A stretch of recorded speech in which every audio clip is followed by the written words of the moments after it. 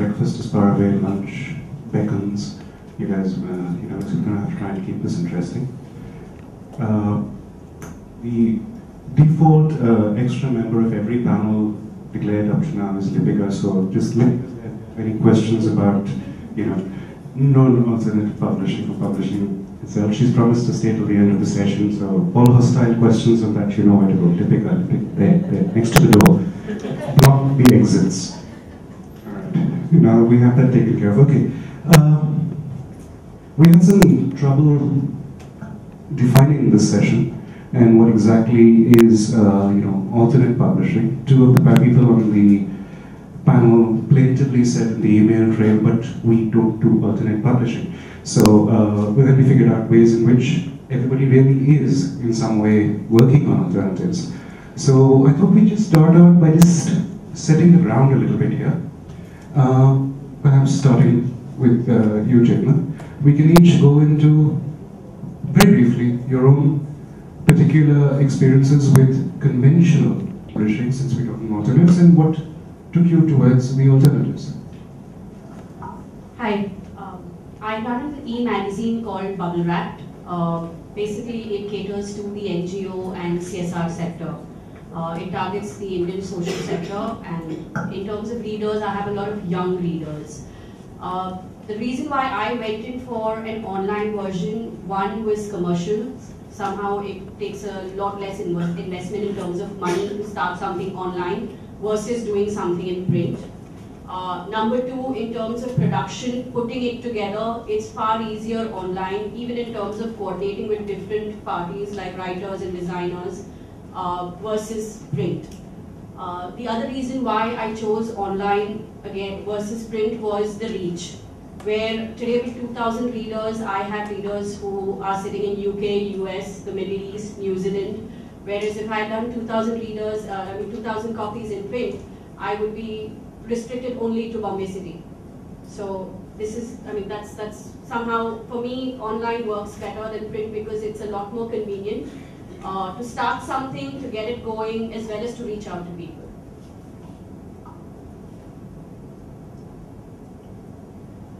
Hi, uh, I'm Vaishali, and as far experience with uh, you know publishing uh, actually I had none. I mean, uh, you know, like um, Joyce introduced me, and I'm basically from software, but uh, always like to read. I mean, always like to read, and so uh, this Reading Hour actually started off as um, totally an adventure.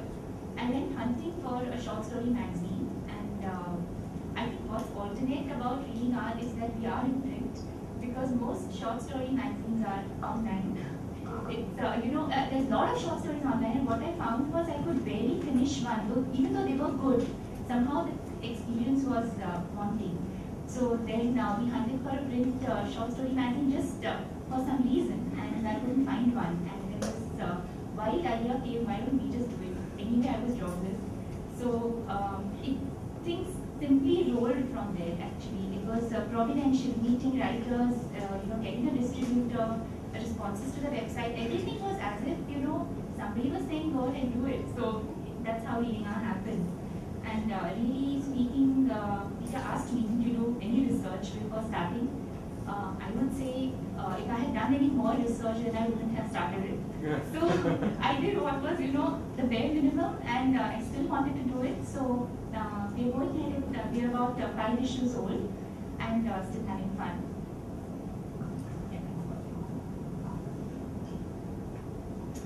Hi, hello, I'm Ellen, and um, I don't think I've ever really been into traditional publishing at all, mainly because I don't really consider myself to be within the mainstream of, of anything at all.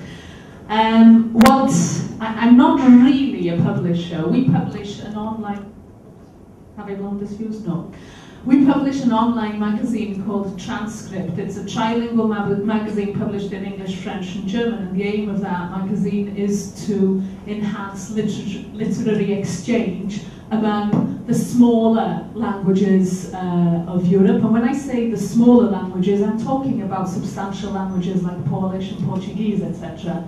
And also through our program called Literature Across Frontiers, we aim to enhance that exchange with the wider world as well. And so we have uh, collaborations with publishers and uh, translators and, and uh, other people who are part of the publishing chain in Turkey, in uh, Egypt and also also in India and we've uh, worked uh, with a number of people who are who are here today and some of you might know Alexandra Buchler who's who's the director of literature across frontiers.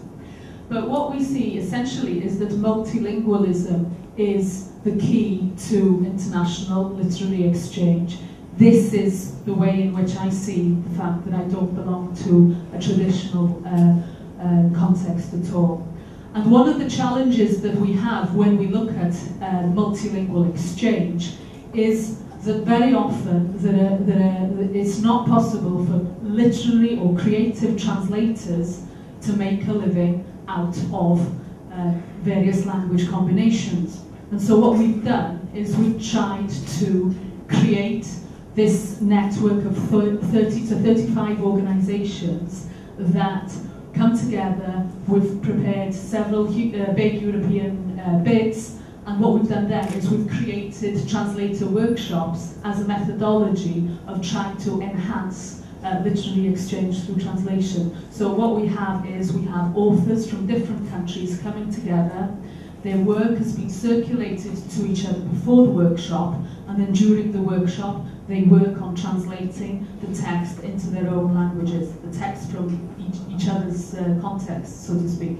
So that's the result of, if you like, a market failure on our behalf because we don't have substantial markets in order to sustain the means by which literatures can be can reach new audiences. We have to find different ways of doing it, and the translation workshop methodology is one that we've we've tried out. I think unlike um, the, the past three people we've heard from, um, I'm really from a background in what you'd call the sort of traditional heartlands of book publishing. Um, you know, very much it's all about books and it's all about um, the, the paper and it's all very much um, the old school of publishing, the sort of archetype of publishing. Um, but what I really think about um, when I hear of uh, alternate publishing is actually different formats and different forms of publishing. So, although we've got magazine publishers here today, we've got book publishers here today, um, but actually, to me, a publisher can be something much bigger, wider, more open, and more flexible than just a book publisher or a magazine publisher. And I think that goes back to uh, the root of the word publishing in English, which is from the Latin public, to make something public. And so if we start thinking about publishing as simply the act of making something public, about bringing something to the public, we can suddenly see it in a much wider variety of contexts. So if you look at the games industry, you always have a development studio, and then you have a publisher.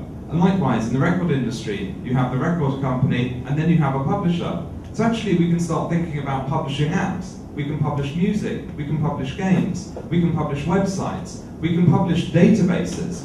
Um, and I'll give you two examples of this. Firstly, the Oxford English Dictionary. They're probably never going to print another Oxford English Dictionary because it's just too big. What the OED is now is a database. Yet we'd still call Oxford University Press the publisher. Likewise, I'm sure you've all heard of Angry Birds, which is the game phenomenon for uh, mobiles um, created by a Finnish development studio called Rovio. However, when they first produced that game, they uh, partnered with a publisher, a games publisher called Chillingo. Um, and actually, it was Chillingo that had a contact at Apple who then looked at the game, really liked it, and the, it, it spiraled off. So although that relationship between Chillingo and Rovio is over, the point there that I see is that there was, there was an intermediary. So alternate publishing, if we define ourselves as general cultural intermediaries, we can massively open up what we do and move into whole new different areas. Hi, I'm Maitri. In August 2008, a few months after Amazon uh, started Kindle, its e-reader, which completely altered the way that we read, we started a magazine in print, called Kindles. And at that time, we thought that we were doing something alternative.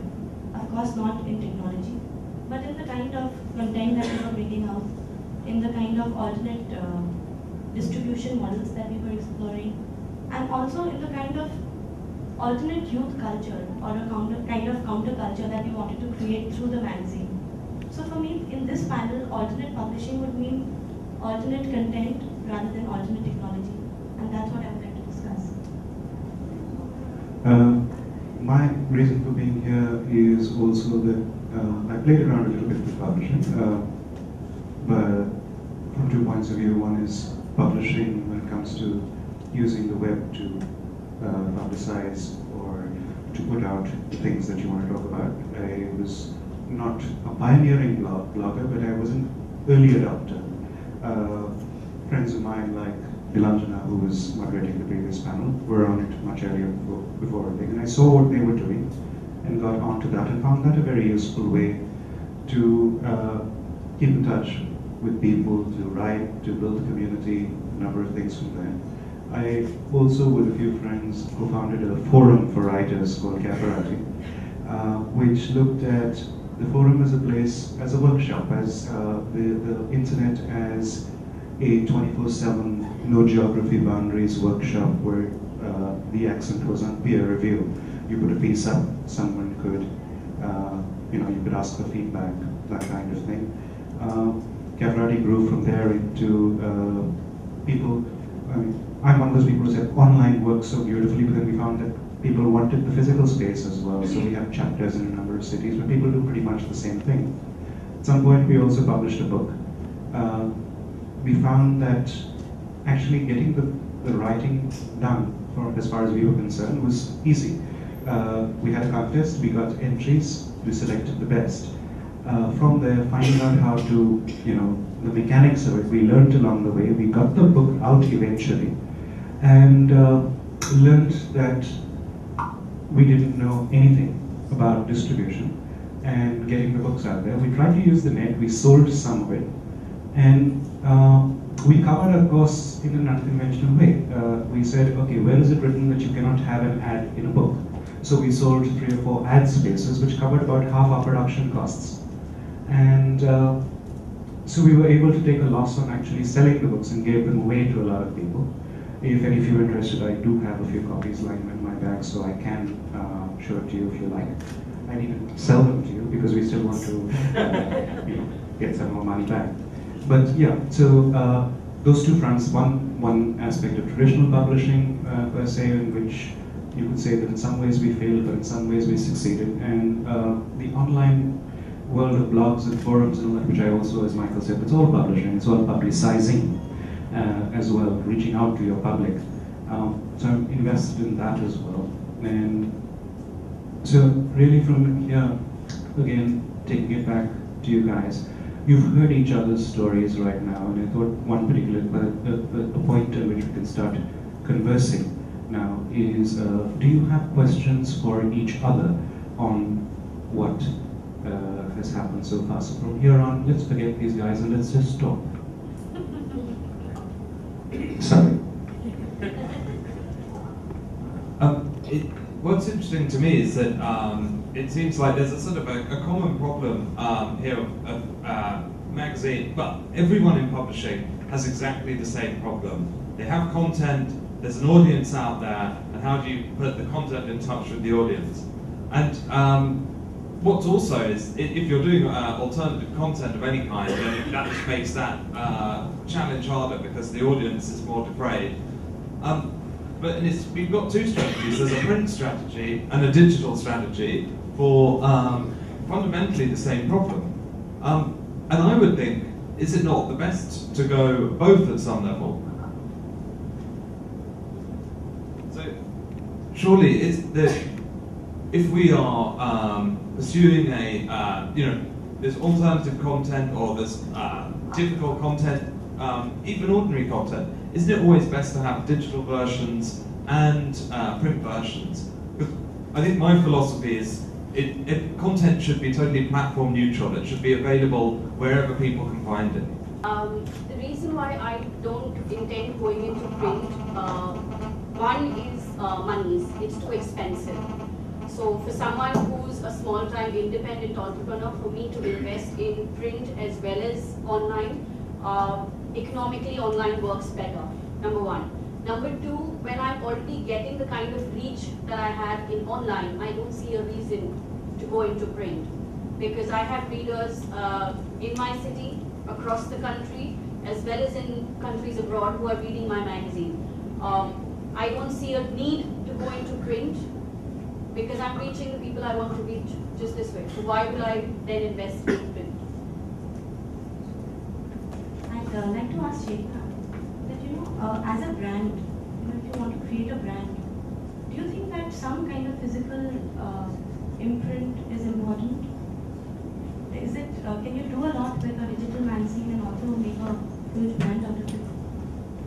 Um, it's working pretty fine in these last six months because uh, online in, in the social media space, which is what I have used mainly to market my uh, magazine, uh, there seems to be a good following. People recognize the name now, people recognize the logo now. Uh, in fact, I get people approach me to do put in information about their social causes. So obviously they're hearing about it from somewhere. I think uh, what would help even further uh, would to do for me would be to do on-ground marketing. But to bring out a print version doesn't really make a difference to my brand because essentially it started off as an online brand and that's that's what it's going to be. So it, it, it was never intended to be a print brand or a on-ground brand. What will help though is to do on-ground activities to establish it or give it better visibility in the local area. Um, I think that one of the things that we see in, in, in, in our work is that, and, it, and it's quite evident here as well, is that different markets or different uh, communities or different contexts approaching the online world in terms of reading in different ways. Um, in the UK, I think that we have a severe problem because I think that our market is over-dominated by Amazon and the Kindle and the repercussions on a small language community like Welsh um, is, is quite enormous. Amazon, uh, there are a number of Welsh language books available on Amazon, the sales are not huge, but they've kind of slipped through and they'd be classified as English language books. Recently Amazon made a, a, a statement that they were going to concentrate on only the six major languages as they define them in publishing and therefore Welsh language publishers who want to produce uh, uh, a, a, Kindle version of their books is not able to do that anymore. Um, okay, they're in negotiation and they're trying to generate uh, bad publicity for Amazon as a way of trying to get them, you know, to, to retract that. But because our technology market is dominated by the Kindle, because Amazon is blocking a language to get onto the Kindle, it means that if you want to read Welsh language novels, you can't really do it using a Kindle. And because we have an over-dominance or a monopoly of the, of the technology market, it stifles the growth of e-reading in Welsh. And the reason that Amazon have given for, for their decision, as far as I understand at least, is that they need to be responsible for the content. They don't have the in uh, the in-house services to be able to support Welsh language publishing. They don't know where to pay. They can't say whether whether the um, the electronic version is a correct version of the book and so on and so forth and other kinds of legal issues. Well, what does that that to me says that Amazon thinks of itself as the publisher, not just the distributor. And I see that, you know, I'm, I'm, I'm a real big, big fan of, of online stuff, but I think that we sometimes can get too engrossed in the dream that it's a really, it's a leveling ground. It's not a leveling ground. There are the same kinds of hierarchies that exist in the analog world in the digital world. But we can fight together. Um, just following on from what um, Ellen said, so I think that the common thread here is that um, digital is, I think, uh, and, and Chetna is proving that it's possible, it is a fantastic way of getting content that otherwise wouldn't get anywhere out to market. It's, it's an absolutely brilliant way of opening up uh, we had a panel on uh, independent publishers yesterday. It's a brilliant way of opening up the kind of content that independent publishers has. And Ulhas said earlier that for him, um, digital is a great leveling field. Uh, and I think that's true, and it's my great hope that for alternative forms of publishing and independent forms of publishing, digital is uh, going to be an extremely good thing. There are two problems in, that sort of build on what Ellen said uh, with digital that I think make it a troubling place as well as a very promising place.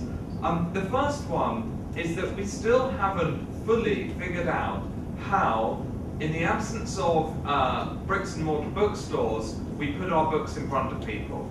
Um, I'm not sure what proportion of book and indeed magazine sales come from just serendipitous uh, discovery in a shop, but it's actually quite large. And we have metadata, we have social media marketing, um, we have search discovery, we have all these kind of mechanisms. But for me, there's still an element that's slightly missing. So we still haven't fully worked out how to find and sell niche content in what is profitable amounts online. The second problem is this exactly what um, Ellen says, is this dominance of certain platforms and the hierarchy that they create. And what you see on, say, the Kindle and on all digital platforms to a certain extent is a feedback effect. So here's how it works. Let's say you get good promotion uh, from Amazon, your book is on the Kindle, it's being promoted people aren't really looking much on their Kindle, they just go to the front page and buy what's there. That drives your book up the charts, so you're in the charts, people are looking at the charts. Because you're in the charts, you get more promotion. Because you get more promotion, you stay in the charts, and so on and so on. And what that means is the Kindle chart, compared to even the book chart, is actually very static. Books get stuck in the top 10 and they stay there because actually what the, the platform does is create a feedback loop. And that favours those publishers who are able to crack into those feedback loops. And more often than not, those publishers won't be alternate.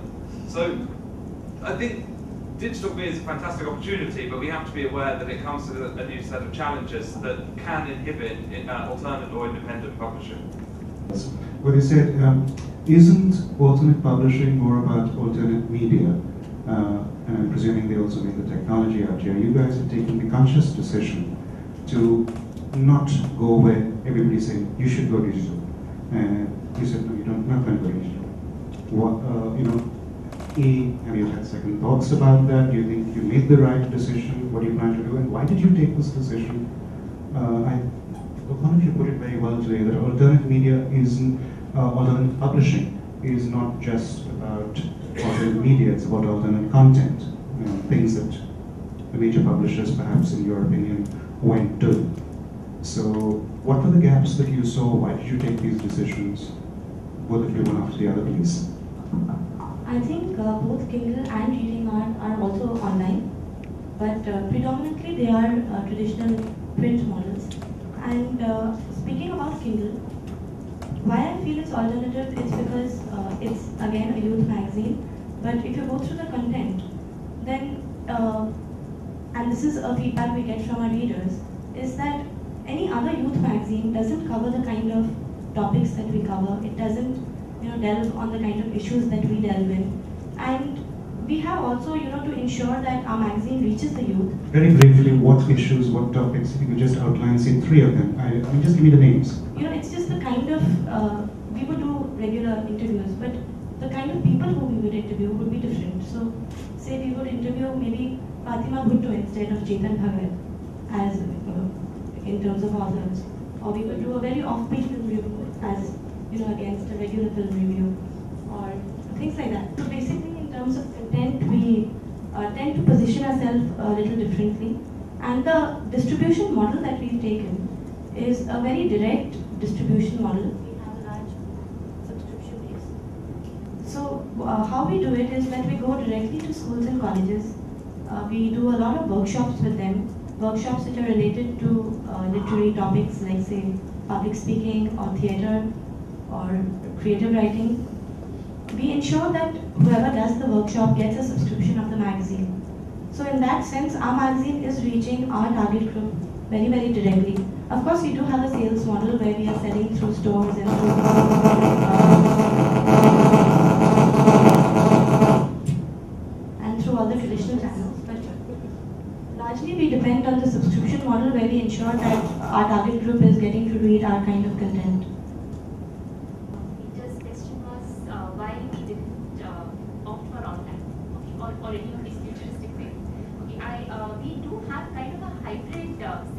our magazine is only print, but uh, you know, I mean, in the shops, and you know, obviously it's different versions, but we do give uh, overseas subscribers uh, the PDF option because uh, obviously we it's prohibited to ship there. And um, apart from that, we kind of keep connecting with readers using these using social media a lot actually. So we we, we use Facebook as a kind of to entice readers to the website. And uh, on our website, we uh, periodically put up uh, you know stories uh, or articles uh, which are relevant from our older issues or sometimes even the current issue. And the shorter poetry, we put it up directly on Facebook, and it really creates quite a stir. You know, I mean, for all those things that nobody reads poetry, I mean, even on Facebook they do.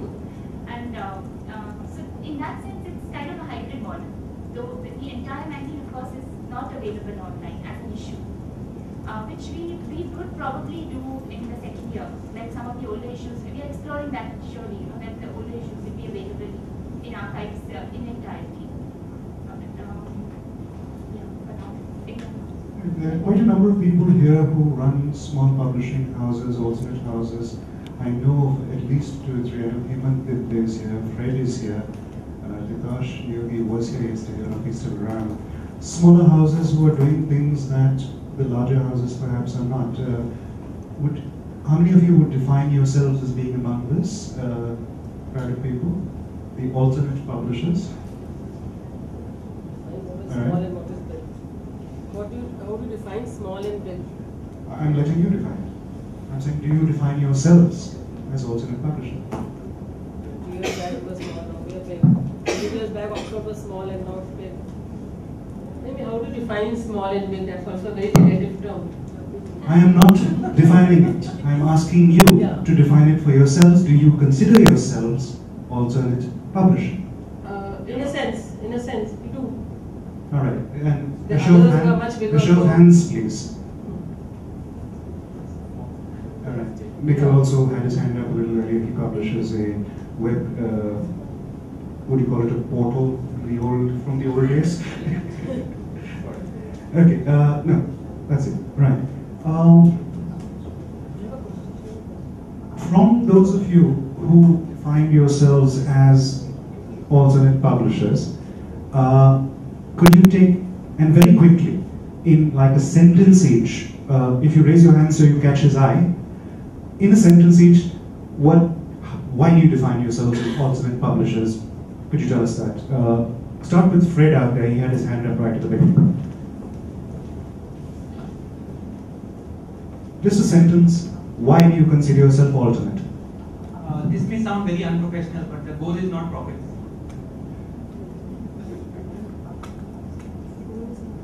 The goal is not profit, is what he said.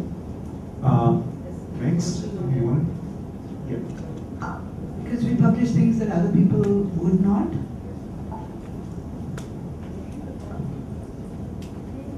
The lady in white next to the door. You had your hand up? No. Uh, Yes, some of it we publish, which uh, we, we discover we're more innovative, we nurture authors more. uh, But there is a link to the mainstream in that those authors then once established, the mainstream sits up and then takes them over. So that it is like a continuum, we're not, you know, an island somewhere. Right. But- But we do develop new authors, a lot of emphasis there. In the second row behind the door, the gentleman in the corner there.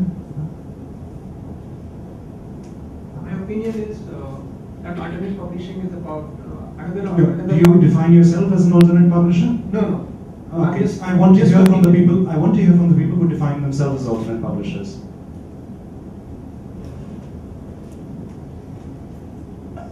We publish in nine languages, multilingual publisher, and uh, well, I'm constantly discovering uh, authors, illustrators, translators. Okay, so so far I'm hearing we're not in it to make money. We're doing s- we're alternate because we're taking subjects that other people aren't willing to handle, or we're doing multiple languages which uh, the mainstream publishers aren't willing to handle. Uh, perhaps Sticking your neck out, you take risks. taking risks on new writers uh, is an important part of this. What else, uh, ma'am? You also do some alternate publishing, whether you're not a mainstream publisher. I am a mainstream, but I do some alternate publishing too. Like need a set of books. So what do you define So as alternate? No, that would be, yes, some of it is, not totally. What part of it makes you say that Okay, partly I do alternate Okay, publishing? there's, there's a set of books, Hindi readers, Hindi books, which are based, with stories based on the 16 different dialects of Hindi. Nobody would dream of publishing or printing, but it would not sell. So you're, you're, you're saying that part of the alternate definition for you Yes, is that you di- you publish in languages that the Not in majors. language is an idea like the 16 dialects of Hindi, 20 dialects of Hindi, a story in each dialect. It's something which is not for the main market, it did not sell at all. The first one. So Yeah, those so in languages that publishers do not think are commercially viable. Dialects, not languages. Hindi, there's a lot of Hindi publishing going on. Fair enough. Fair enough. Uh, There's things, there's the other things. Well, uh, we saw ourselves when we began as an alternative uh, to the mainstream news that that is being covered. I mean, to the news that that is being covered in the The mainstream. mainstream press. wasn't covering all the news that you thought. This was the niche. In terms of focus, in terms of depth, in terms of involving the community uh, that we focus on in, in creating new content and understanding them better, we saw ourselves as an alternative. And speed of delivery as well. And the speed of delivery. Anyone else who defines themselves as alternate? Right at the very back. Peter is speaking for someone I know, this is not me. You want to pick a fight today, no matter what. No fights. No, the person concerned should have been here, she was supposed to be attending. There is a, uh, uh venture called shonakotha.com. It's in Bengali, what it literally means is things that I've heard. It's an audio uh, short story site. What they do is they take stories which are out of copyright at the moment. They record them in a very professional way and they have put them out on their website for people to download for a price. They are also making it available on mobile networks for people to dial in and listen. Would you consider that an example of what Most definitely, you're talking about you, here. I mean, I was wanted waiting to hear So, if yeah, anybody was that- doing that- new that- media, and that's a different way That's an interesting model. yeah. to take the oral storytelling tradition, uh, marry it with the guys who are out of copyright, and use new technology to deliver it. Uh, with the microphone, the lady here, fourth row. I can hear you, but the others can't, ma'am. So.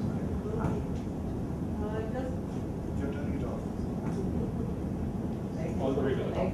All the way to the top. All the way to the top. Sorry, I'm obviously technology. Okay, just a advice when you guys get the mic, he knows what he's doing. Don't touch the switch. He's giving it to you on.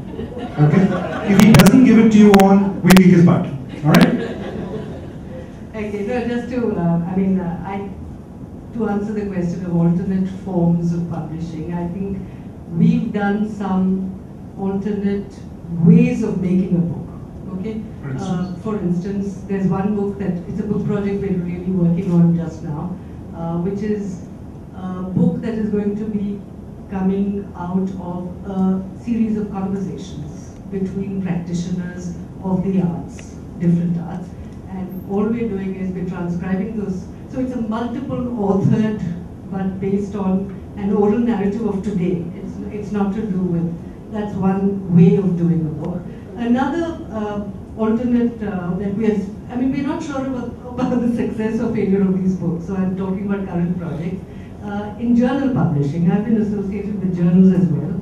Um, and there is currently an academic journal of agrarian studies, uh, which uh, we are bringing out a digital online free edition first, to be followed by a print version, limited numbers, on subscription base. And I think this is, correct me if I'm wrong, please, I think this is the first in India, definitely. And I, I mean, I'd, I'd like to see how it goes, in inputs, comments, suggestions. Um, ma'am? Ma'am, I have a question for you. This agrarian journal, is it for farmers or for the policymakers? In fact, I'm glad you asked me the question, and the reason why the uh, form has taken this form is because the Agrarian Journal is an academic journal meant for researchers, no, meant for researchers and academics and scholars working in, on the agrarian economy of India and developed countries, as well as activists who are working out there. So the print version is going to be a cheaper print edition to reach those people out there in small villages, towns, etc., at a reasonable price. Uh, hopefully, will also be translated into the language of the region, we'll tie up with organizations to do that. And the online edition goes to the larger international academic market. One thing I think about uh, alternate publishing is that uh, it's very easy for anyone to be an alternative publisher. But equally, in a way, everyone is an alternative publisher if you so define yourself. Um, because I think one thing that we're seeing is that people can say, um, oh, we are publishing uh, content that no one else will publish. But every publisher publishes content that no one else will publish somewhere along the line. So uh, for me, actually, uh, alternate publishing uh, has to be something more So can radical. we define this as, okay, if you've been to five publishers and they haven't touched it, and then you publish it, then it's alternate publishing can be... Uh, Exactly, that's what I think we should avoid, and that's what it sounds like. If, if, no, if no one else will publish it, maybe it's not very good, and we shouldn't be publishing it at all. Um, so actually, for me, alternate publishing, um, really, if we're going to a deep level, has to be something a bit more transformative than um, uh, simply uh, interesting content. Because I think interesting, difficult, challenging uh, content is what all publishers should be doing. And I think um, I'm no defender of big corporates, but they actually do do some of that publishing as well. Um, so for me, alternative publishing is something that has to go much deeper and really challenges the very basic assumptions about what it is a publishing house does or should do or is. Sure. You know, I agree with what Michael is saying, that, you know, you've got to take, take the difficult things and then take that step. But I think in alternate publishing, it more than uh, taking that first step, it's about sustaining. So a lot of people, considering the technology today and considering everything that's available, it's very easy to start something, but then how can you sustain it? I mean, that's, that's what actually comes up in alternate publishing. To be able to start something and sustain it and take it through. Uh, two questions, uh, really. One, two, one, two, and three of you, Chippa and Michael. Uh, I'm leaving you out of this right now because you made the decision to go the other way. The thing that we haven't uh, talked about at this stage so far is, you know, uh, I'd like to I'd like you to expand a little bit on the technology front as well, and how that permits uh, alternate. You, you know, you started out by saying publishing not just books, games, you do you know other things. So just a little bit about uh, technology and what it's permitting publishing to do. Uh, and the second question, uh, she run away? Nah, she's hiding there at the back. Okay, Uh, she's, carrying the burden of big publishing for all of us. Uh, at some point, Deepika, we, we'll come back to you, and I want to know what you think. Okay, and you will be speaking for all of big publishing. Um, what do you think of alternate publishing? Okay, but we come back to that. Gather your thoughts. Fair warning. Okay, fair warning, and we just talk about tech for a bit and then bounce on you. Um, well, I think the first thing to say uh, on uh, before we go into technology, uh, I think the first thing I'd like to just quickly get out of the way is that I in no way believe that um, print books are going to die, and I, I've had that discussion so many times. And uh, a lot of people assume that because I'm a digital publisher, uh, that I believe that somehow print is redundant or old, and I absolutely don't believe that. I, I believe um, we'll always have a mixed environment of print books, print magazines, uh, and so on, but also digital products. I don't know how much the proportions will be on one side or another. We certainly know that digital is here, and we know that the trajectory of that is telling us that it will be an increasing proportion of content will be consumed in digital, and indeed already is. Um, but, you know, before I say anything else, I should say that I don't believe print books are just going to disappear. Uh, I think they will stay, and they will always have a role. Um, perhaps a slightly lessened role, uh, but they will nonetheless be there. Um, even so, uh, I think the question was what, what does technology permit? Um, essentially, it permits anything. So, uh, you know, you can almost now, on, on an app store, let's say, there's almost every media form that exists in the world today is there. Every media producer in the world is there in some form, doing every kind of entertainment or information gathering exercises. So, actually, the real challenge is not what the technology permits, but it's how you choose to use the technology and what decisions you're going to make about the application of it. Because it is so open and because it is so crowded, that means the competition is so much fiercer. Um, in a bookshop, you're essentially finding other books for people's attention and for people's money. On an app store, you're not just competing with other books, you're competing with films, games, um, marketing exercises from multimedia companies, um, anything and everything. Um, so actually, for me, the difficult thing is whittling it down to the one or two things that you're a specialist in, and then deciding, right, this is something perhaps radically different in terms of the nature of what it is, but it's nonetheless within our kind of expertise. It's within our, um, it, it's within what, what we already know. And I'll, I'll give you one quick example. So we published uh, in January of this year a sort of business guidebook called the Decision Book, which is essentially a kind of a guide to 50 different business models. Um, and we partnered up with a startup company called Cognition, who's developed software that maps books into graphs and trees. It's very difficult to describe. And essentially, they made this book about business models and turned it into an interactive journey through the business models where you would feed in your own information and then it would sort of automatically construct these business models for you um, as you go through the software. And so actually what this was is, is, a program. It's not really a book at all, but it was based on the book and we were the publisher. So we realized the book was going to be successful, this had a good chance, and so it was reimagining what it could be. But the point was is we did that project and not any other because technology permits everything, money permitting. So broadly, the thing of, uh, I mean, going using technology is not just about doing a digital version of the book that merely tries to replicate the, the experience, but to see what else media lets you do, to go to that broad thing that way back in the 90s everybody was talking about, convergence. Yeah. yeah. I'll, I'll, just quickly go because I don't want to monopolize. Um, so I think the first publishers actually have been in a digital revolution probably since uh, the late 70s. Um, and until recently, every single stage of the publishing process was digital, apart from the end product. The, the, the, file would come in from a writer in a Word document, it would then be edited on computers, sent around on computers, and actually the only time the product and the whole workflow of a publisher wasn't digital was actually at the very last point, when it's printed. And now what we've seen in this latest phase is that instead of there being a print product at the end, there's a file at the end. And so the first, the last sort of part of this basic jigsaw of publishing was just creating uh, a fully digital workflow rather than a workflow that was digital apart from at the very end. And to me, that's what I've spent the past few years mainly doing. Essentially putting in this, this last final piece of the digital publishers for uh, digital puzzle for publishers, which was mentally has been, I think, a bit of a struggle for a lot of publishers because they're so associated with the end product, even though it was only the end product and they were used to dealing with digital files on a day-to-day -day basis. And that's been actually, to my mind, not a particularly radical exercise. To my mind, that's a kind of very basic next step.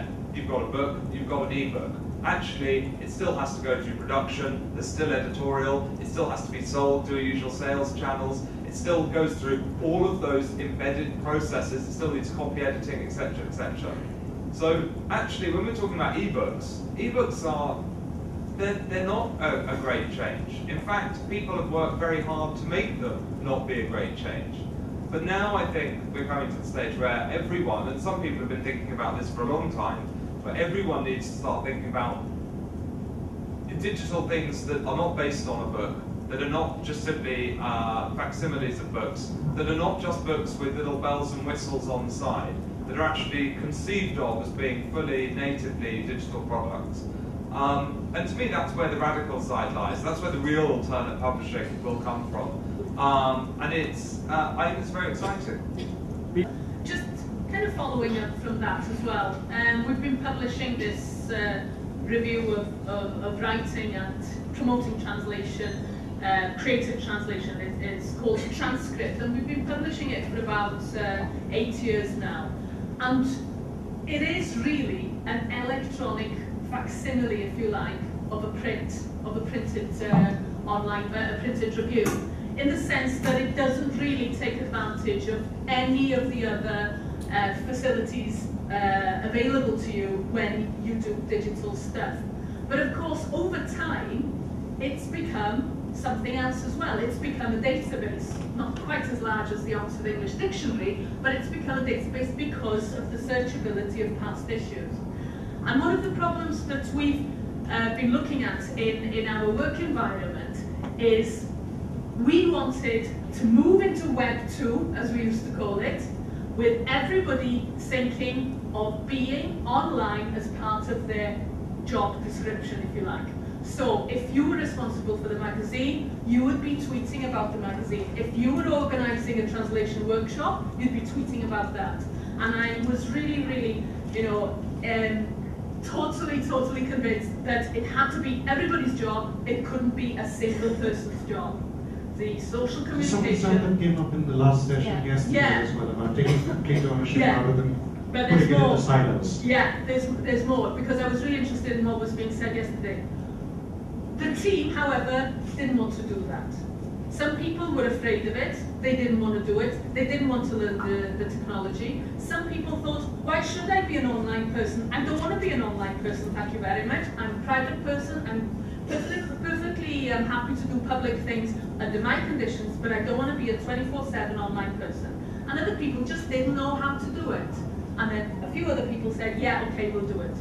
So I was really, this is useless, you know. Ah. Never mind. I had to go with, with what people wanted. Of course, now, so, so, so we did the silo thing. But of course, the silo sort of spread out. And everybody started joining the silo. And in the end, everybody's doing it. Not to the same degree, but it just shows the kind of process that sometimes you have to go through. That you can't jump from one context to the other. And what we want to do now with the online review is that it does sort of take on a little bit more interactivity or negotiation. And in a sense, it's part of a strategy of building a community. Because when I said at the beginning, I've always considered myself to be a, a non-traditionalist or a non-mainstream person. That's really because nobody has ever told me, why don't, you know, why don't you do this? Why don't you set up what I've actually set up? I've always done it kind of against the grain, you know, or against all odds type of thing. Nobody said to me in the, you know, in the early 90s, why don't you set up a research centre that's really interested in minority languages, media, and European and worldwide exchange? Why don't you do that, Ellen? No, no, no. Nobody said that because nobody wanted to do it. Nobody thought that there was any need to do it. And in a sense, it's a little bit about how people were defining themselves as alternate publishers just now. It's doing really what nobody will tell you to do. It's about creating something new. new. It's not about spotting a gap in the market, it's about making that gap. It's about being proactive.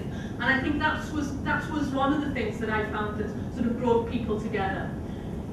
For us who are working in languages other than English, it's really, really much more difficult. You can define yourself as an alternate just by not doing it in a major language. And for us, I think that the challenge that we have with technology is, yes, we can use some languages very easily for, for technology, but other languages are finding it more difficult to make themselves present on that platform. What we have um, that we find that's really, really important. It's important for linguistic diversity and diversity in literature to, to travel. So it's important for um, language, uh, literature, say in Catalan or Turkish or whatever, to travel into other languages. But in our experience as well, it's equally important for smaller languages to translate works into those languages as well. It's not just about external projection of your own culture, it's about enhancing the intellectual possibilities within your own speech community. And I think that if you lose the translation into a language, you are really making that language less useful for the future. And equally, if you don't have languages on electronic platforms, then when we move to communicating more and more and more through electronic means, then those languages become less and less useful and finally obsolete. When you ask what does technology permit, I think the way she put it in terms saying that it helps language, you need to get language out there. Um, I'd like to cite Tulika's example yesterday, the children's book that you showed, which was, you know, the poems that were, it, it was an audio book which had a visual appeal to it, um, and you had translations in different languages. So all that happens because you have accepted a kind of technology and said, let's go with it. So one thing that technology allows for is to make something far more interactive than what it is in print. Not that print is not enjoyable, I still love the smell of books, but this I is was just scratching page and okay. Sorry? Right, sorry. but this, it, it makes it far more interactive that way. Uh, the other thing that uh, happens with technology is you get immediate response. Today when I put up the magazine, uh, it takes half an hour for people to tweet back or get onto Facebook and write a message back saying they like an X story or they like the issue or they want someone else to read the story. That immediate response you don't get in print, which technology allows for. Um, I don't see a reason why the both can't coexist. There's this whole notion of one has to replace the other, when in fact it can actually just coexist. Maybe one takes a back seat at one time and the other one, you know, the online becomes stronger or then online takes a back seat for some people and print becomes stronger, but the two can coexist. It's about finding the combination. You know, storytelling per se and using the, uh, you know, there are people who are trying to force fit in the same way as you know, say, you're just taking the page and putting it in an electronic version. But there's also people who who are not exploring the, uh, I don't find enough people who are exploring the ways in which you can use simple things online to say tell a story, to use it's very basic, uh, you know, hypertext to link on. I remember way back in the it was about uh, late 90s. I was part of a forum, an online forum for writers called Trace, which was run out of Nottingham Trent University.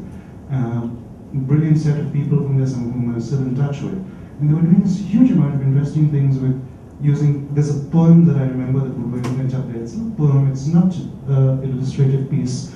It's called My Boyfriend Came Back from the War. It's something that I remember distinctly. Look up, My Boyfriend Came up, came back from the war.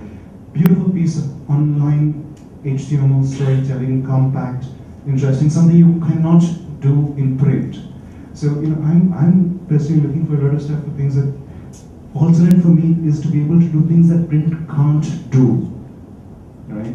Not just be another way to take your print out there.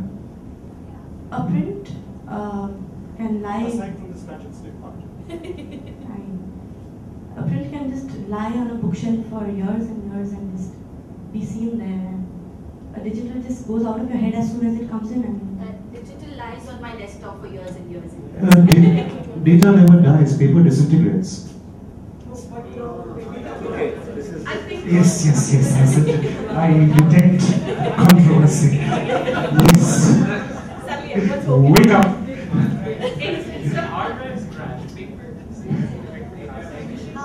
I, I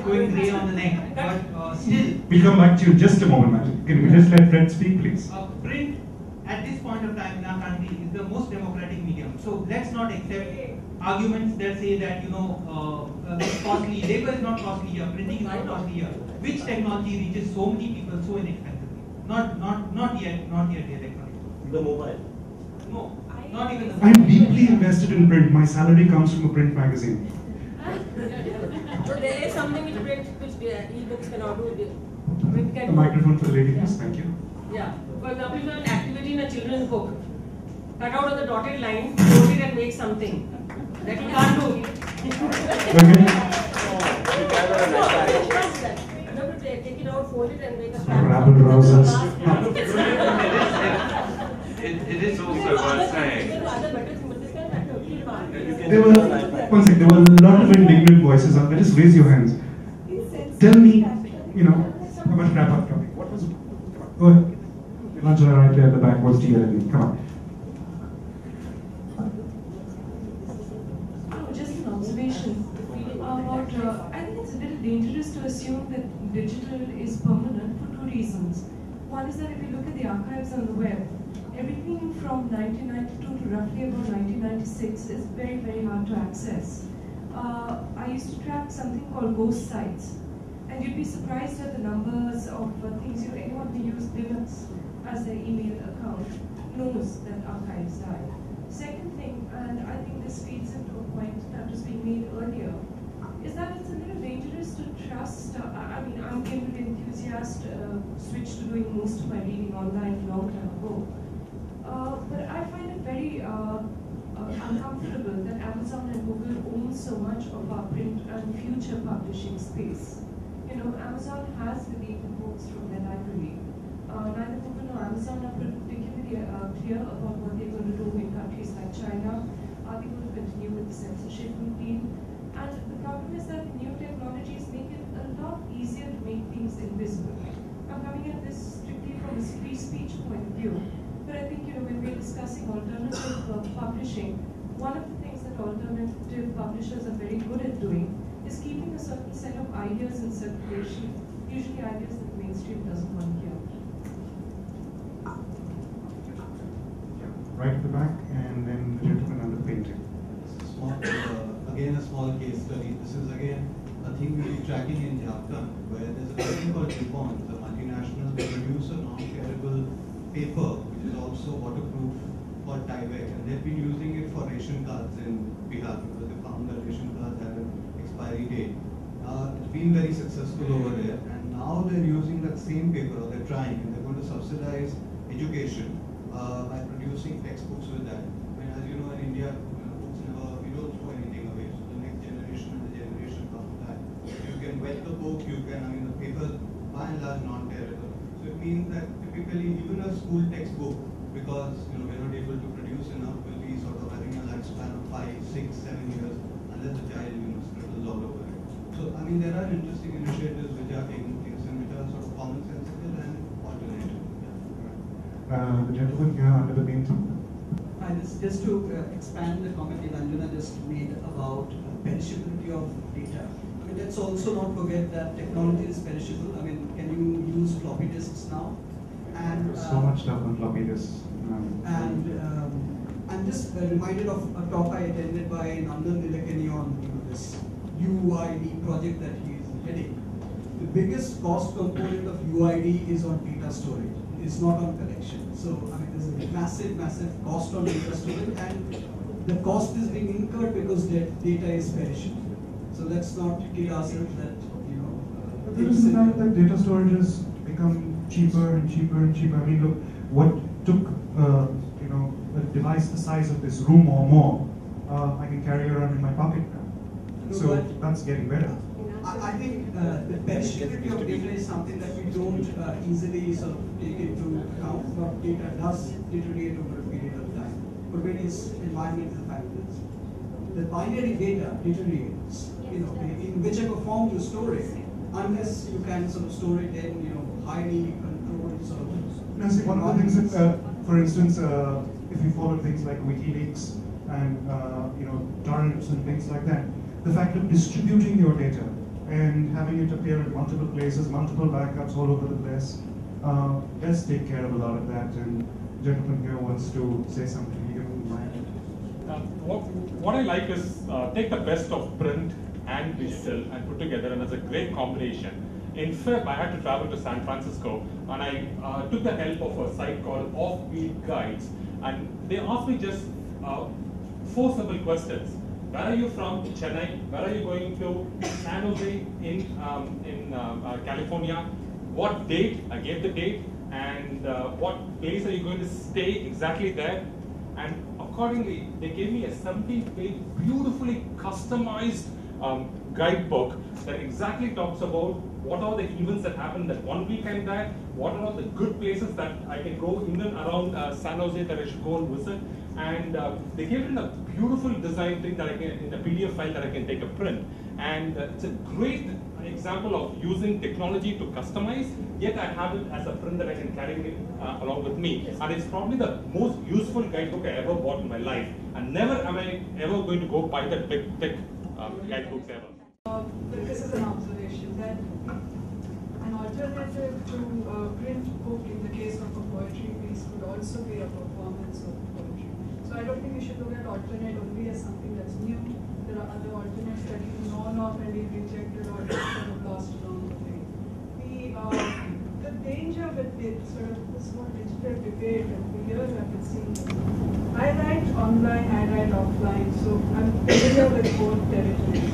And in online spaces and this whole culture of reviewing online log entries, I find that very difficult because I have, and in most cases I write politically online. And I had enormous amount of hate mail coming my way, which has no background to the issue that is being discussed. Is feedback for me in a way that I understand how readers are not clued into so many issues. So it's feedback for me in that sense. But in sense of generating a debate, it can be extremely disruptive, in, in blogs especially.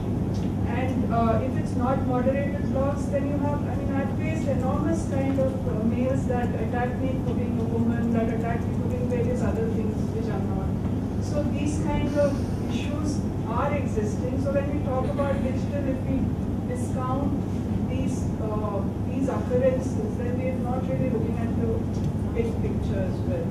So that's my only point. Apart from Fred, I presume everyone else here likes making money. So can I just ask, with particularly with three of the ladies on the platform who are uh, hooked on the internet uh, route, what's the revenue model? Is there a revenue model? Uh, it's all very well to talk about alternative publishing, um, but is there money to be made in doing it as well? The, the revenue model that my magazine follows is ad sales.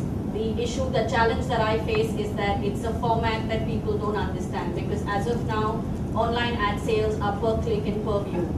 Whereas my magazine format is like a flip book and that does not make space for per click and per view. So it is a challenge that I'm trying to overcome. But like I said, it's easy to start. Sustaining it is the bigger challenge. We've overcome that challenge. Not yet. You have. When I'm coming to you. Can I, can I just hear from Maitri, you said you're running a subscription model, is that right? Uh, the subscription model works in the sense that it uh, funds our growth, so we don't have to put in more money to grow. But no, we're not making money yet, still putting in some amount of money. But the subscription model works before the ad model starts working. So that's where it helps, you know. with the with the online model with, with the online model that we have, um, the journal itself uh, operates in a business model that's based on the fact that we're a network organisation. So the editor has very very little commissioning money. So the content is provided through the network of organisations that belong to, to the network and the fact that we're located about three hours from any major airport, well, any real airport, uh, means that, you know, whenever I travel, the worst three hours are the three hours back home.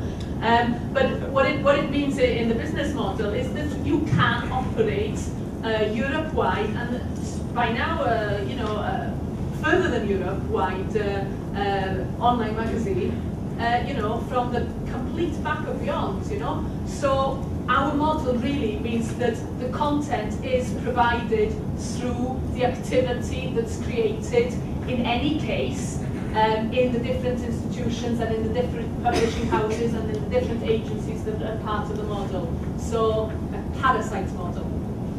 Uh, we took a call when we started that we will not take advertising for about, uh, we took a call when we started that we won't take advertising for the first uh, year and a half.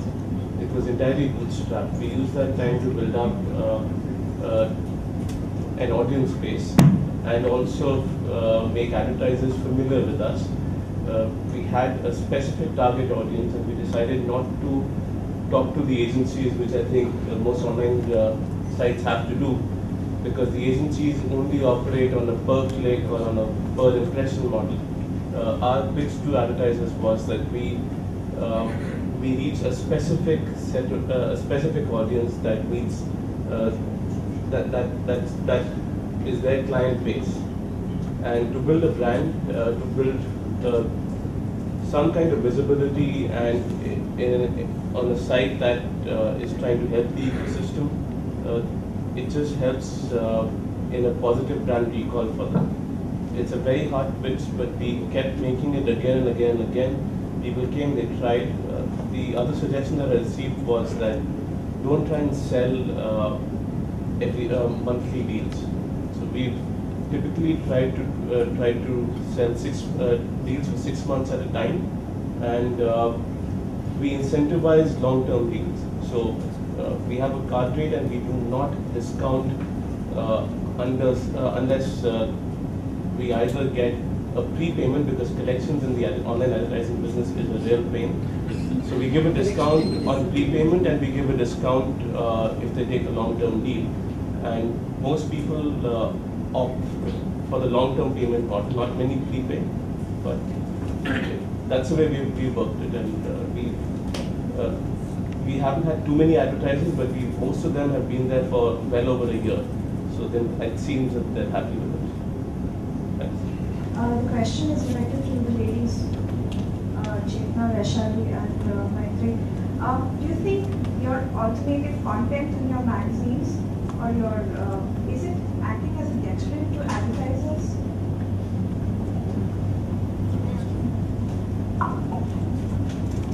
Padmini, I think there are all kinds of people, you know, in the advertising circle. So uh, definitely anything which doesn't sell very easily is always a deterrent. Anything which is not very popular, as in popular culture, will not sell very easily. But yes, uh, to answer your question, it, it is sometimes a deterrent to advertising. We face that now. Uh, in our yeah, actually, I think advertising, can you hear me?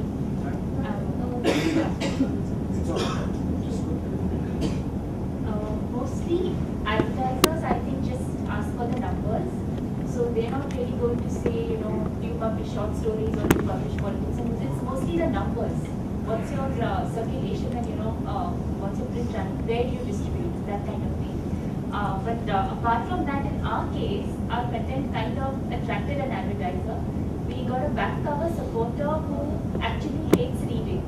But uh, you know, he has a story why he supported us. He just liked the simplicity of the opening, and basically he wanted to prove a point uh, with his father, who had tried to make him read from when he was a You know, finally given up when uh, the person is about 40. And then he just wanted to say, though I don't read, I'm doing this. and that, that was, I mean, you know, so it worked the other way in our case. So just in that one case. In my case, the content hasn't uh, made, made uh, you know, deterred advertisers as such. But then considering it's a magazine for the social sector, it's not something that a lot of corporates talk about. Um, in terms of their CSR activities, they do very small, small in-house activities, probably donating money, collecting from employees and things like that. So they don't have much that they want to advertise in a space like this. So unless I build my target audience and I'm able to define it properly for them, which is going to take me a good another six months at least, um, I guess this is an issue I'm going to face for a while. We've heard a lot of people talking about magazine publishing online. Now, my expectation was that people will talk more about books or literary content. So, going back to the people who are working on literary content online, what are the business models there and are you guys making money through your, you know, the alternative uh, avenues? Um, well, the main uh, business model is that on? It's on, It is. it's on. So the main business model is, uh, as I was saying, is actually fundamentally the same as the print business model, um, which is why uh, it confuses me that people get confused by ebooks. So an ebook, you tend to pay for it uh, on a unit sale uh, per download, just as you would pay on a unit basis for a print book. So the basic business model of literary book content uh, on the internet is precisely the same as it is when you buy, go into a store or buy a book from Amazon, um, which is sort of fairly boring, really. Um, but what we are now starting to see are all the other new business models uh, coming up. Uh, Ollie yesterday gave ValoBox as an example, and that's a radically different business model, where you pay as you read in micro payments, and then you also have an affiliate network that incentivizes people. Um, we've got models that are akin to Spotify coming up, where you pay for a subscription or you get content for free and are then incentivized to pay for a subscription. Um, there are business models coming up where uh, things are released on Creative Commons and the text is free, but then you pay for extras. Um, there's, there's all kinds of sort of new things bubbling away, but it, it has to be said that the reason why most uh, conventional book publishers have started to quite like ebooks is that it fundamentally, in digital form, replicates the business model for unit sales of print publishing. Um, where we start to get a bit more uh, interesting is when it diverts from that, but no one's yet proved a kind of commercially uh, stable, really, just that will definitely provide a sort of certain income uh, model that is beyond that. Chetna, I have a question for you. If you priced your, uh, uh, is it, is your thing priced? Uh, no, it's right now free. I want to know whether people would buy it. Um, I don't think people would buy it because um, no, I genuinely don't think uh, because it's too new a product. The brand is not established. Uh, what am I pricing it at? I'm not an established publisher who's going out and saying that you know I've published my 200 book or this is my third magazine. It's the first uh, thing that I've brought out into the market. So who am I? What is my credibility? So people are not going to pay for it. Number one. Number two. Um, the content, the subject is in, uh, it, it's about the social sector. So it's anyways an untapped market. So if I'm going to price, I don't know who's going, I didn't know who was going to read it in the first place. Now in six months, I know yes, there are 2,000 people reading it and they come from various walks of life and various age groups. But uh, I don't think pricing, if I price it, it only restricts my readership. uh, had the same fear because the, a lot of the queries we got for online versions were always prefixed with free. Isn't there a free online version? So the, the I think in a lot of maybe not true for UK and US, but in India, online means free. It, it, it, the impression Yeah. that it cost you to put it there. Whereas of course it did, except for the paper, the printing and the distribution, it did have the initial cost. But uh, the, the impression is that it should be free, and that is where we get stuck. Then you know, because like I said, the effort has gone into that too. That was one doubt, and the other one was, you know, when you uh, have an online version, see, if you buy a book, I can at the most lend it to one person, and while that person is reading it, another person can't. And the fear was also that you know, if you have an e-version, how easy is it to share it, and everybody's reading it, and Yeah, you know, are fine ways around this. Anish yesterday was talking about music and what music it learned, uh, you know, and the way the models have changed. Uh, I, I, for publishers as well, there's going to be a thing of, Peter, two points to add. for publishers as well, there's a thing of uh, having, well, and I mean publishers, I don't mean just books, I mean all over. Uh, for the rest, uh, where I get my bread, bread and butter from, uh, you know, for news portals, for a whole lot of things. The whole battle there is a advertising supported has been the business model for so many. Uh, books which did not have the advertising supported model, uh, you know, sold for much more than you know the equivalent quantity of uh, you know reading material that went out by the media and stuff like that. So that's a battle that we really all have to uh, find different ways to sort out. I know that I put out stuff for free via Caferati. We do listings and whatnot, and because I have a day job, I sort of do this whenever I have the time. And I'm not saying that this is a business model, but I've had people saying, look, can we support you in some way so that you can have more time for this? All right, can we give you money? And there'll be a few people out of the, you know, 2,000 odd subscribers who go for this free newsletter, few people have offered. Uh, and I say, no, it's okay. You, I mean, uh, aside from the fact that I want a lot more money than you are willing to give me, uh, the fact is that I do this for fun, and it's just, you know, maybe someday one will monetize it, but there's no intention to. we are publishers. Hmm? We are in a business. Yeah. So, you know, I mean, it has to find, um, I'm sorry. Put the mic on. Yeah. So we are not, I mean, we are having fun doing it, but at the same time, it needs to become, uh, you know, needs to be money. It needs to get formalized. Yeah. Uh, Could I just, uh, just quickly add one thing? Bring the mic here while he's talking. I I was just going to say, um, After that, the gentleman there. is this uh, this very clear issue that people uh, expect things to be free or nearly free uh, online, and one sort of intelligent solution is to uh, bundle digital and print goods together in the way that, say, um, a download code comes with the record, or in the way that uh, O'Reilly, a technical publisher, uh, has sort of different price points for ebooks, print books, and then a bundle of them both. And I think we'll see a lot more bundling of print and digital in the years to come. I just wanted to add a couple of points. The decision that I, that you have to take is that, of all the readers that are coming on your site, how many can you think will convert into a paid model, and will that make your business viable or not? Uh, given the, the low propensity to pay online, and even for the uh, for the B2B trade uh, business like us, I think it would be uh, low given uh, that they will only pay for a value add. So a freemium model where some content is free, some content is paid uh, is worth looking at. Uh, the second point was the biggest problem in online uh, actually in, in allowing people to make payments. It's extremely expensive and difficult uh, to integrate a payment gateway uh, uh, into your website today, and the failure rates are extremely high. So until someone launches a plug-and-play uh, uh, payment model, uh, I think this discussion about free versus paid is not going to happen. Let there be an opportunity first to make something paid. I don't think that's there yet. Yeah, this is interesting. I mean, you know, when you talk about making people pay, for instance, uh, people will bootleg music but pay for a ringtone, right?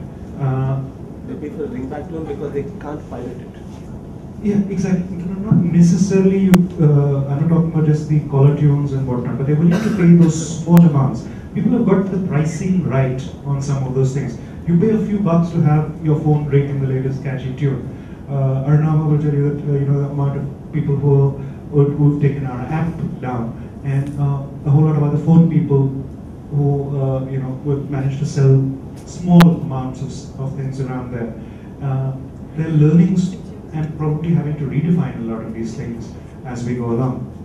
Uh, can we go here, then to Anish, and then to Fred? The cost per transaction isn't worth it. You don't want to say anything? Okay, can you go to, uh, you had your hand up, right? And I ignored you earlier, so sorry. After that, Anish, and then to Fred, please.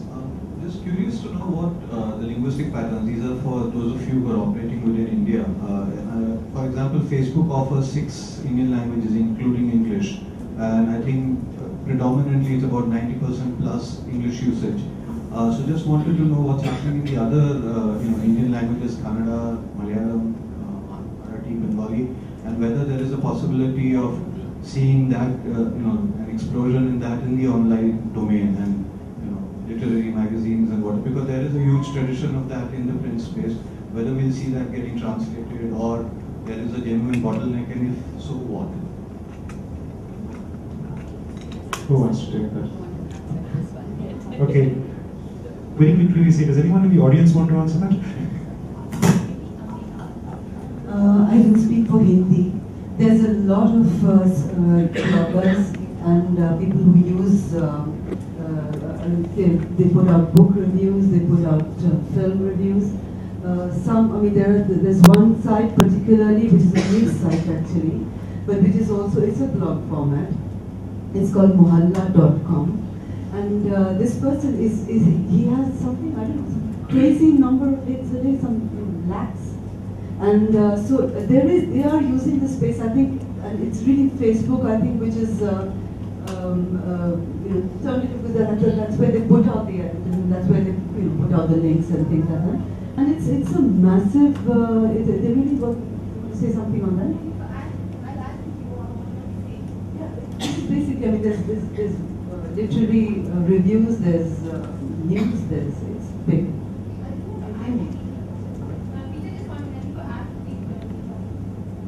Hello.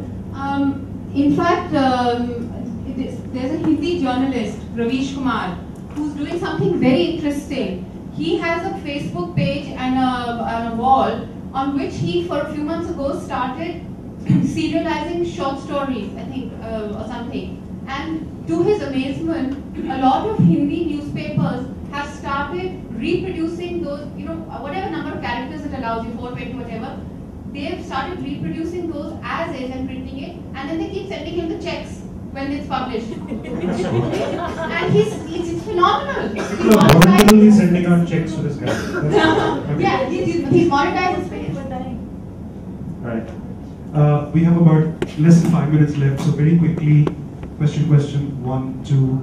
Just a uh, comment on that very interesting conversation, Ramu, you um, started. Um, I have a concern when we talk about Indian languages and then stop at eight. Yeah, uh, I mean, uh, there is something going on here that, you know, I mean, people from Manipur wouldn't be very happy if we said that, okay, we have Bangla, Tamil, Telugu, Marathi, etc., let's stop at that. That's one thing. The other problem with digital content in India, I think, is while mohalla.com, I haven't been to the site, is, is it does it use the Roman script or the Hindi script? It uses the Hindi script. Uh, uh, awful lot is going on in regional languages on the internet, but using the Roman script. And I think there is a challenge to scriptural diversity in India with that. So I think that's something to keep in mind. Just to go back a point or two, you know, a lot of us in this room seem to have this uh, subconscious fear that one online, one online uh, copyright is going to be one best book sold. But is that assumption really? Because my experience is that they are totally different audiences. On the contrary, it's painful to read a book online, so there's a good chance if you like it, you're going to buy it. Yep. Uh, music people have have uh, made this a fine art in that sense. So their point is like we don't make money on music sales. In any case, we are getting our billions from it. Let's have let's let's build up a profile and let's have huge uh, things we get for. And and and we are and we, and we it out for free. Uh, someone asked about books. I mean, we are we use open access, the format of open access for one our books. So it was sponsored by local theatre academy. And even before the book was formally released, it was all over on the net, and we were pirating it ourselves because you know we had learned from it. So there's absolutely no problem. Problem with the concert model for writers is how many writers would you pay to go and hear them read, for instance? Just curious. Like, uh, I remember at some point last year, no, just to diverge from the point of, you know, the concert model selling individual tracks. Uh, Anand Bota at some point last year tweeted that it was the first year that his fees from appearances were more than he was making from the sales of his books. Uh, is there something the publishing can learn from, you know, that way, the way the Grateful Dead, for instance, perform? Is it bootleg our music and what you pay to come to our shows to do the bootlegging, for instance? Uh, second. in uh, children's publishing, children's books, strange thing happening. Schools are willing to pay for um, storytellers, authors, um, you know, and, but they will not allow the books to be sold. I mean, they sell all kinds of things, but books can't be sold. That's Why, why is that? I don't know why that is. That's how they think. There are branded T-shirts on sports days. There's uh, you know shoes all kinds of things being sold. But books, what is the point in an author visiting if the author, you know, the books are not in English or in Spanish? But schools and uh, most, very few schools who actually allow it. And to answer Ramu's question, there's a Malayalam, uh, Ruben, there's a Malayalam blog by a government teacher who has reviewed most of our Malayalam books, and it's really been nice to get that kind of feedback, and we could only get that the blog. Ma'am? Fresh out of time, I think, right now. Do we have to cut this, Leo? Okay. Uh, we can continue this outside. The thing is that it's going to infringe on two very important things. One is the workshop that is scheduled to happen right now, and the second is lunch. All right. So thank you for your uh, questions. We hope that we uh, that we were entertaining enough for that we sat down. Just take away the tables and let's sit down and chat. Uh, what do you prefer? This is for Leo's benefit. Do you prefer this kind of chat, or do you prefer people sitting at tables and talking at you? Which one? Okay, uh, this this format. Except the mics. Yesterday's format. Yeah, we need more mics. Yeah, and, and cut, Instant feedback. and cut, cut out cut out the distance. It's just so far away. I know, I know. Yeah. So